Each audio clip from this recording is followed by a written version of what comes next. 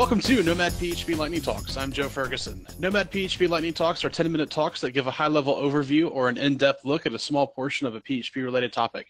Lightning Talks are a great way for new speakers to build their speaking resume and for longtime speakers to test drive new talk ideas. If you'd like to give a 10 minute lightning talk, please email me, joe at nomadphp.com. Right now we have Chris Tankersley. He's going to talk about Zend Expressive in 15 minutes. Please make sure you visit Joind.in after the talk and leave Chris some feedback. Thank you, Joe. Uh, like Joe said, I'm going to talk about Zend Expressive, hopefully in 15 minutes. Um, so we'll go over some real high level stuff uh, with it. Uh, for those that don't know me, I am uh, Chris Tankersley. I've been a PHP programmer for over 11 years, DevOps, sysadmin for about nine. Uh, I have a GitHub page uh, with more projects that I'm actually doing work on nowadays, and a couple that I'll talk about in here. Um, I'm also the author of Docker for Developers, which I will actually be speaking on Nomad PHP next month on the 21st. Um, and currently, I'm the reigning, defending, undisputed PHP Magic the Gathering champion of the world. Uh, so if you're interested in Magic, we regularly play at many of the conferences. So come by, you might be able to get the belt from me. Uh, but today I'm going to talk about Zend Expressive. Uh, so what exactly is it? Because there's a lot of frameworks out there now, uh, and as time goes on, we're getting more and more of them. So Zend Expressive at its heart is a micro framework. Uh, so if you've used Slim or Silex or any of the ones uh, like that that are just kind of like little tiny routing frameworks without a whole lot of frills, uh, that's what Zend Expressive currently is. Uh, it implements the PSR7 standard, which I'll talk a little bit more about here in a bit. But it uh, because of that, it's going to interact. It's going to work with many different libraries out there uh, without having to be locked into just a Zend framework library. It is also one of the few micro frameworks that implement a full middleware stack, and I'll go over exactly what middleware and stuff is here in a little bit. But uh, because of the usage of middleware, a lot of the stuff that you'll build for Zend Expressive, one is going to be much more uh, user-friendly to other libraries out there, and allow you to reuse code outside of Zend Expressive, but also allow you a very simple interface for building new modules for your application. It's also kind of currently the beginning of Zend Framework 3. So if you are looking at Zend Framework 3, Zend Expressive is a really good way to get your foot in the door now, start building applications, and go ahead and migrate them up to kind of a full stack Zend Framework 3 when that becomes completely available. So for the micro framework portion of it, uh, really, there's not a whole lot to it. It's mostly just a lightweight wrapper around a bunch of other libraries.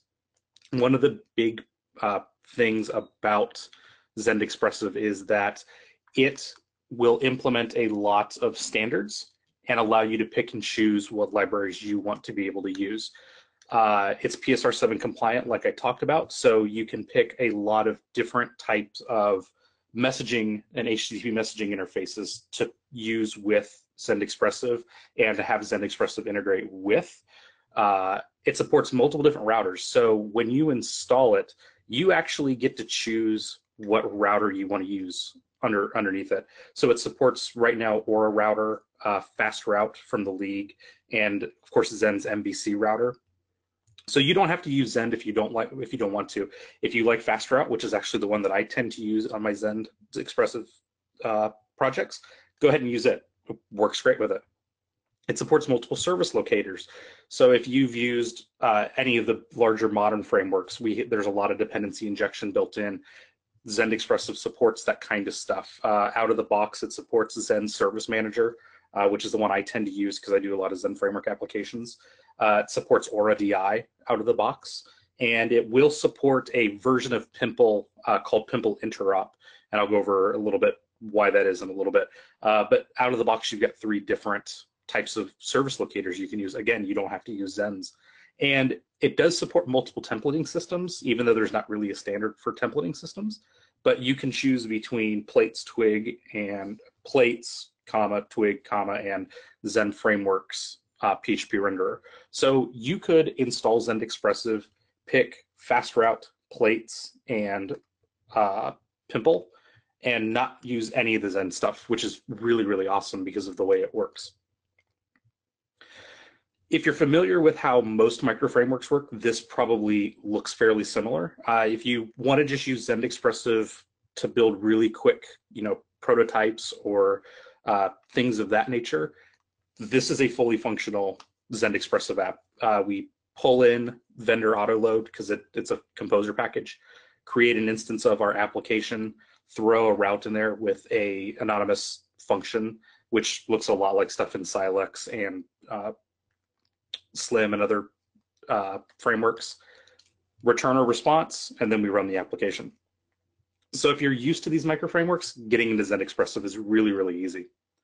Now, it's not just for basic websites because this kind of setup, especially once you get a lot of routes, is really untenable for long-term maintenance. It's really good for prototyping, but it's not going to last long-term.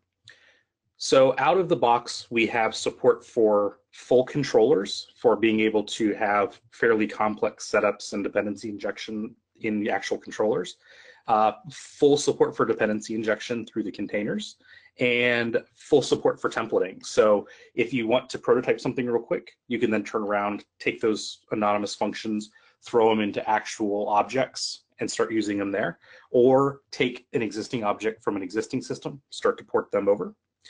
when you use it in this way, it starts to feel kind of between a micro framework and a full stack framework like Zend Framework 2 or Symfony. So like I said, if you are looking at getting into Zend Framework 3 and you're not sure because a lot of the stuff's still being worked on, you can start in Zend Expressive now, move up later, and still get a lot of the functionality that you get with some of the bigger full stack frameworks in the organization that you get. So this is a sample of one of the controllers that we have, and all the controllers are fairly simple. Now, I've omitted the class block around this, uh, but in Zend Expressive, classes don't extend anything else. They are just plain old PHP objects. The only real kind of thing you type hint against is we have uh, response interface and server request interface from PSR7, and those will be pushed into an invoke method on your plain PHP object. So any PHP object that has an invoke method that takes a request and a response and this thing called next, which is any kind of callable, is a valid controller in Zend Expressive. So you can build very simple objects, start to organize your code, and get them pushed out. So that kind of leads us into PSR7 because I talked about that a couple different times. So for those that are unfamiliar, PSR7 was a, a PSR that was uh, basically just about HTTP messaging.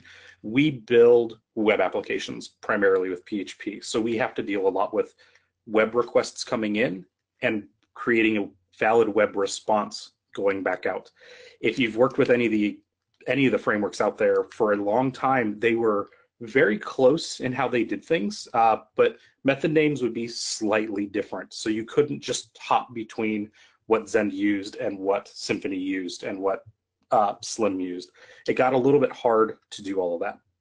So PSR7 took all that stuff, condensed it down into a, uh, a normalized set of interfaces, and makes it so that anything that implements PSR7 can understand the web request coming in and then what a web request going back out should be. So now we have a lot of packages now that are starting to implement PSR7. So you can easily swap things out uh, because they all understand how a web request should come in and go back out.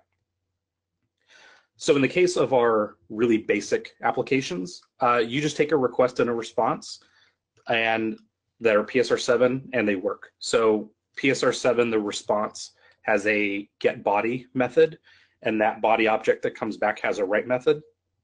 We can write stuff to it and return the response.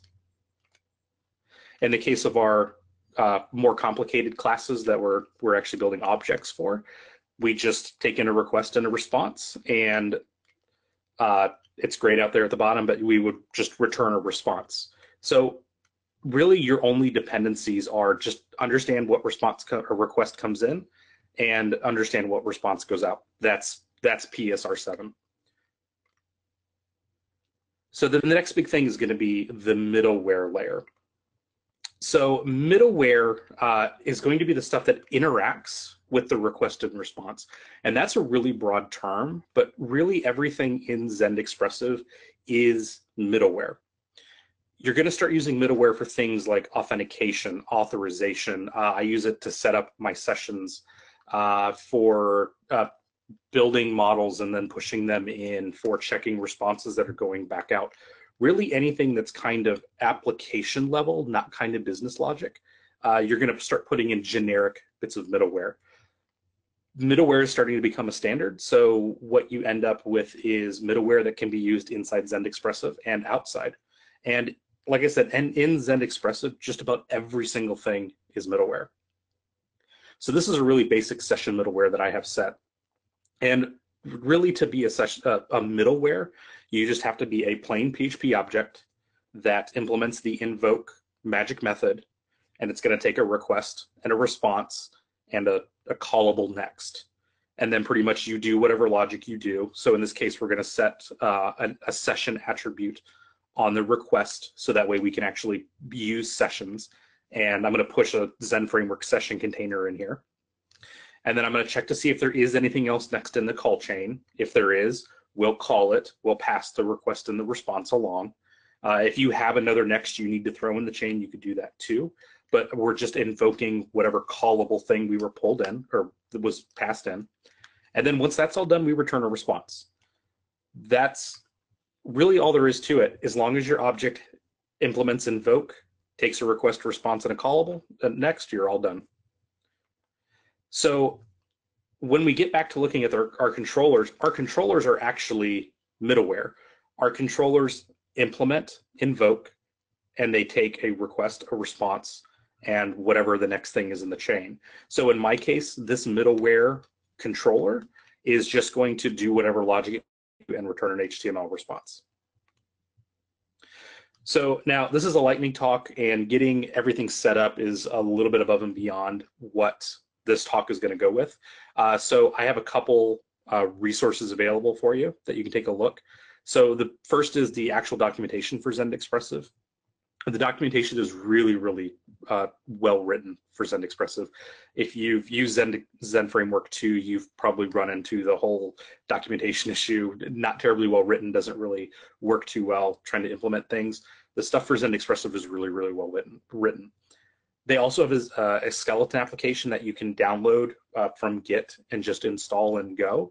And it will have a fully functional kind of that uh, middle tier, middle sized application set up with controllers and the dependency injection and all that stuff. So you can start taking a look at that to move your applications into it. I also have a demo application uh, that I actually uh, built for a PHP architect article. So you can go and see uh, something other than just the skeleton setup. Uh, and then a link to my session middleware, which I use on a lot of my Zend expressive projects. So uh, with that, uh, I thank you very much. If you have any questions, feel free to email me. Uh, you can also find me on Twitter as at DragonManTank. Uh, and of course, please rate this talk. Let me know uh, how it went, uh, if you have any questions or anything. Um, but other than that, I thank you for watching this, and I will throw it back to you, Joe. Thanks for joining us for another Nomad PHP Lightning Talk. If you'd like to give a Lightning Talk, please email me, joe at nomadphp.com. Please make sure you visit Joind.in and leave Chris some feedback.